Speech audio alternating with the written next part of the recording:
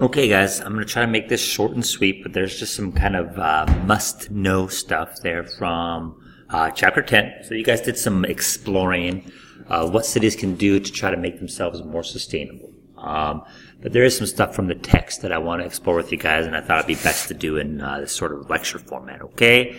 Um, so, we spent some time looking at this graph here uh, when I first introduced this chapter right? Um, and essentially, we're trying to determine whether that is a positive trend, positive in terms of uh, bringing us more to, to, toward a more sustainable future, or uh, bringing us away from that. Okay, um, and really, again, it all comes down to well, it just depends on how the city operates. How careful are they in terms of uh, the development that they're doing, and so on. All right. Uh, so first of all, urban populations, uh, generally speaking, are much more diverse than their uh, rural counterparts. So in terms of race, ethnicity, religion, socioeconomic status, languages spoken, all those things are much more diverse in our urban populations. Uh, the population tends to be younger, uh, which makes sense. Um, now, in our developing nations, so places like uh, India and most of Africa, right, the population in the cities tends to be a little bit more male dominant. Although, uh, in our developed nation countries, there tends to be more females. So, uh, dudes, if you're if you're looking to to find a female, you better go to the city. That's where you find them. All right. Um, now, some other terminology in urban agglomeration is referring to essentially where little townships or cities have grown together. Uh, so this shows all the urban agglomerations present in the U.S. Uh, notice that most of California is just one giant urban agglomeration. Uh, so those 55 electoral votes come from uh, in the, the, presidential election. So many people, uh, central Arizona, the whole I-5 corridor in Washington up through uh, north to central Oregon. Hey, they even have Lewiston and Clarkston in there. Look at that okay? Uh, Spokane, Coeur d'Alene. So those are urban agglomerations, essentially an urbanized core region. Uh, several cities essentially have kind of grown together so they got this sort of uh, agglomeration of cities. All right? Uh, 75 to 80% of North America lives in urban areas. So keep in mind that our developed countries, uh, the vast majority of people live in cities. It's our developing world where that urbanization trend is really happening. Okay, um, when you go to the developing world, there, um, again, we're having massive urbanization, and they have not developed the infrastructure, et cetera, to cope with all those people. And so, lots of people that live in our developing world uh, that are moving to the cities uh, live in substandard housing. They're often called squatters. So essentially, a squatter is somebody who uh, illegal uh, illegally occupies a space. Um, now, the police, for the most part, aren't going through and trying to clear out these squatters. They're just uh, it's land that is not managed. They don't have city services. So you can see in this photograph here, the ground is just littered with garbage uh, all over the place.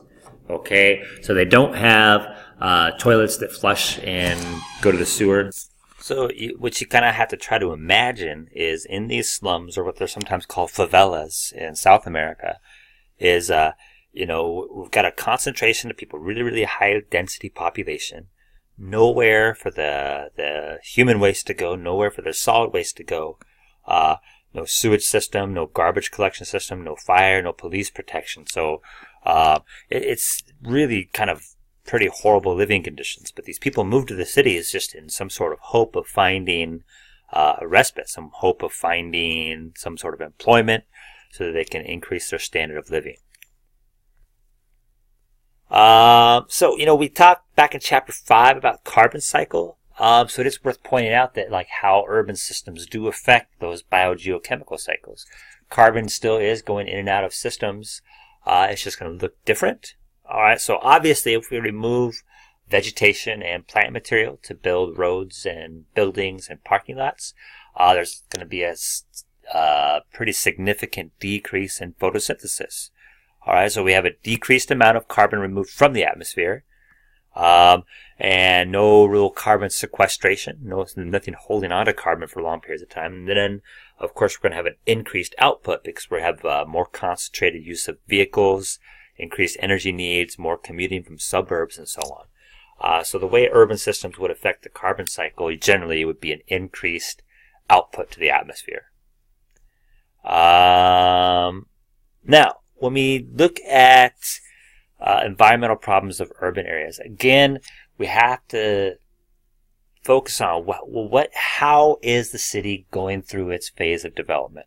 So if we grow our urban area outward, which would be typical of most cities in the West, because most of those cities are new enough to be built after the, the onset of the personal automobile, uh, we're going to grow outward. So obviously, the obvious effect on wildlife is we're going to fragment it. Um, we're going to encroach on important wetlands, forests, and desert.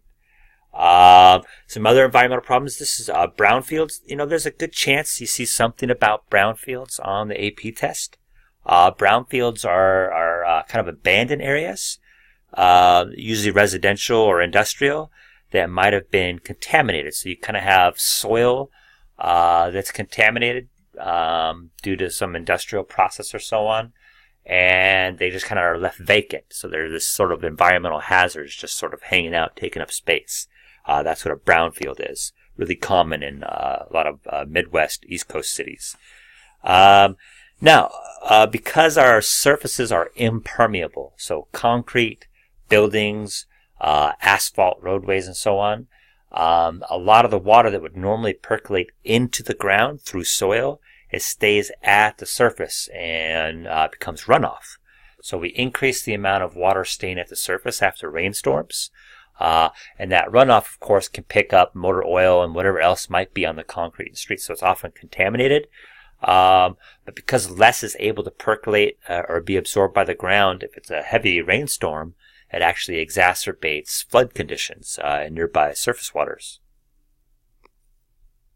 Um, now, when it comes to the materials uh, use in a city, uh, you know, the, the traditional system is, is linear. You know, we get raw materials, uh, minerals, what have you, water from uh, external environment, the rural environment.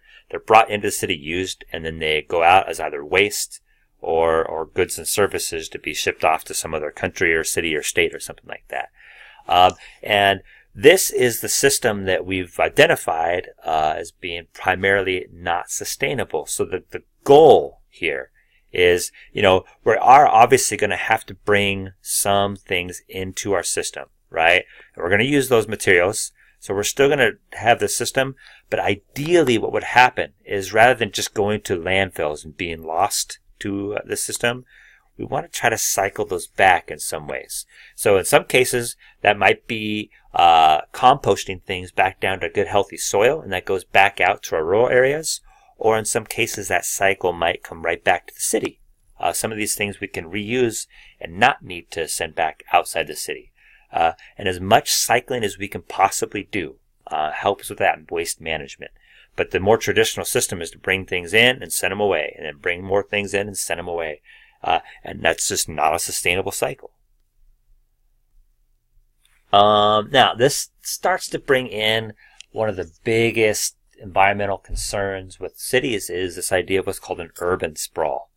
All right. So, uh, what happened around the 1950s is um, people that lived in cities began wanting to live in, uh, sometimes they would say safer they actually, and this is not meant as a racist, but it's actually called this in academic circles. They called it white flight. Uh, so because our cities tend to have increased um, crime rates and increases in, uh, you know, uh, safety concerns, more pollution, and so on, uh, the more well-to-do people, and remember, in the 1950s, that was primarily white people it's not as much the case now. Uh, they just started moving out of the city into what's called suburbs. Um, and they called that white flight from our cities. People moved out to the suburbs so they could have bigger homes, bigger yards, less noise pollution, less air pollution, lower crime rates, uh, in many cases, better, safer schools and so on. Uh, and because of that, uh, people uh, were able to kind of live that American dream with a with a house and a yard and a fence and a dog. Okay, uh, but the result, uh, the their employment remained inside the city, and so people were commuting into and out of cities longer distances. Um, and this still holds true today. Lots of people live in suburbs. Uh, and that leads to traffic congested streets because of these long commutes and the buildup of airborne emissions. Uh, noise pollution is a big issue. So, uh, construction and big heavy machinery and buses and, and people. Uh, it actually, there's, there's, uh, increased stress levels with noise pollution, which has some detrimental health effects. Um, and there's also this condition known as the urban heat island effect. Okay. Um, and again, because of the nature of cities, there, uh, there's not as much vegetation more solar energy tends to be absorbed by the surfaces, the buildings, the, the asphalt and the concrete and the parking lots. Uh, and if you compare the temperature of the urban area to the outlying uh, suburban or rural areas, we can see as much as a two to three to four degree difference in temperature as shown in this graph here, right? So the urban heat island refers to the, the kind of uh, unnatural rise in temperatures we see in our urban areas. Okay, uh, and then again, because we have a concentrated output of particulates and other air pollutants, uh, on certain conditions, we can get this buildup of a dust dome over a city, uh, which when the wind blows, then carries those pollutants out to uh, other line parts. So it's a big air quality issue and health issue, actually. Lots of health issues uh, associated with particulate pollution. Um, so if we look at the development of cities after the onset of personal automobiles um, and transportation systems, they cities have tended to grow outward.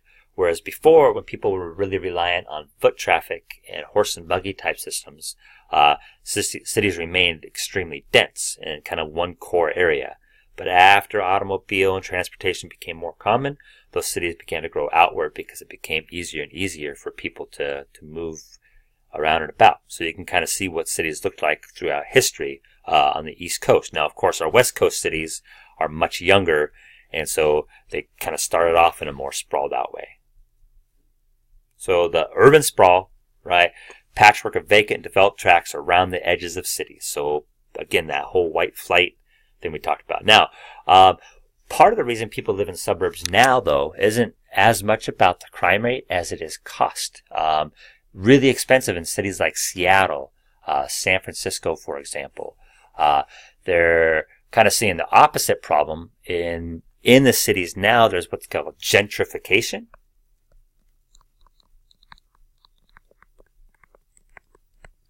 And what that means essentially is uh, cities are becoming more desirable to live in, kind of the opposite effect of the 50s. But what they're seeing is people who are much more well-to-do are now choosing to live in cities.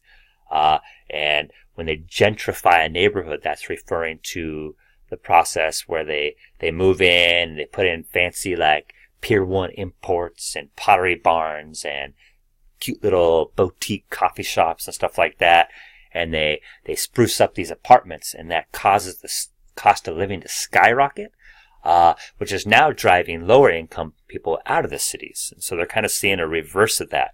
Um, not gentrification um, is not really helping the urban sprawl just yet because people still uh, are having trouble uh, living in the city. It's just a different population of people now, is what we're starting to see. Um, but um, because of this urban sprawl, people are driving to work from work. There are these long commutes, sometimes hours, and that's really, really affecting air quality and people's health because when people are on the road all the time, they tend to eat uh, poorly. Um, there was an FRQ just two years ago, actually, on uh, urban sprawl. We'll look at that in class here shortly. Uh, so the key to kind of avoid this urban sprawl and get people to actually live in the city, work in the city, uh, and so on one of the key solutions there is this compact development that we talked about in class, but you also have to have mixed income housing. So within a single apartment building, uh, people of all income levels can potentially occupy that building because theoretically, in our, our working system outside that apartment building, if, everybody works in the same neighborhood, you can't have all, uh, you know, high income white collar jobs in an area. You need the service sector. You need the transportation sector, people employed by that. Um, but if we really want to reduce the amount of travel and transportation, we need to make it so that they can all live in that same space. Uh, so gentrification isn't necessarily the, the key. It's, it's making it so that it's mixed income, that there's something there for all walks of life. All right.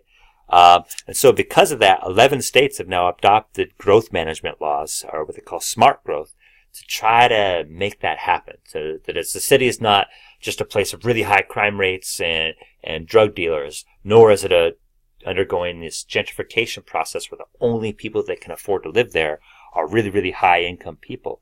They're trying to make it so that uh, anybody, uh, regardless of income, can live in a particular part of a city. Uh, it's mixed, it's diverse, um, and diverse systems, even if it's diverse people, are more resilient systems. And that is it for today.